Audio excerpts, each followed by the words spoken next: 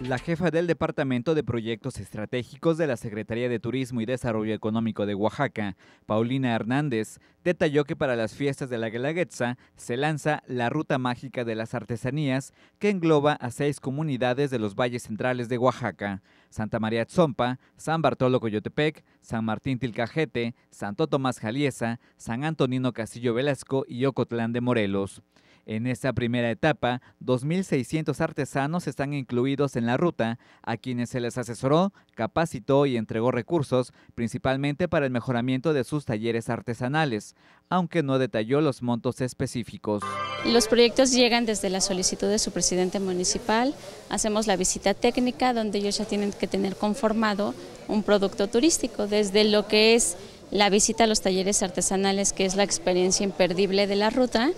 hasta el, que tengan organizados a sus prestadores de servicios, hoteles, restaurantes, guías de turistas, agencias de, de, viajes, de acuerdo a los municipios que aplique. Digo, hay municipios que no tengan todos esos elementos, pero sí podemos empezar con algo. Cabe destacar que la dependencia se enfoca en la capacitación, mejoras en talleres artesanales, señalamientos carreteros y promoción estratégica, trabajando en coordinación con el Comité Ampliado de la Ruta, cuyo objetivo es el de gestión e intervención en los propios municipios para mejorar las condiciones de los artesanos, entre otros.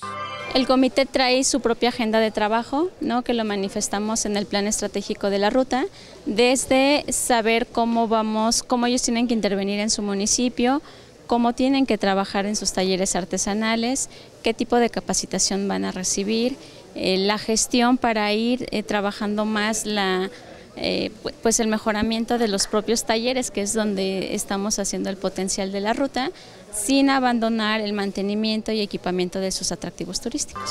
Esta ruta no solo contempla los procesos de elaboración del barro negro, la cerámica de Atzompa, los diseños, bordados y tejidos, el tallado y colorido de la madera o la elaboración de cuchillería de Ocotlán, sino también las tradiciones, fiestas, gastronomía, arte y cultura en general de cada pueblo que integra dicha ruta. Con imágenes de José Antonio Reyes, para MBM Televisión, Celestino Chacón.